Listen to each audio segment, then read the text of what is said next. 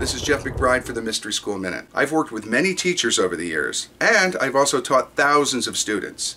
And one of the things I teach them, in order to be a master of time and space, you have to get to the space on time. Let me say that again. If you're going to be a master of time and space, get to the space on time. My dad used to say to me, Jeff, to be early is to be on time. To be on time is to be late. And to be late is to be fired and left behind. Be a master of time and space. Arrive early. That's one of the keys to my success. This is Jeff McBride for the Mystery School Minute.